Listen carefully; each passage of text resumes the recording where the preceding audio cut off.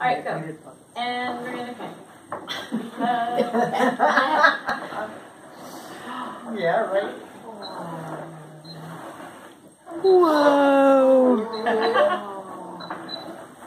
Yes, we do. look, it's still flying.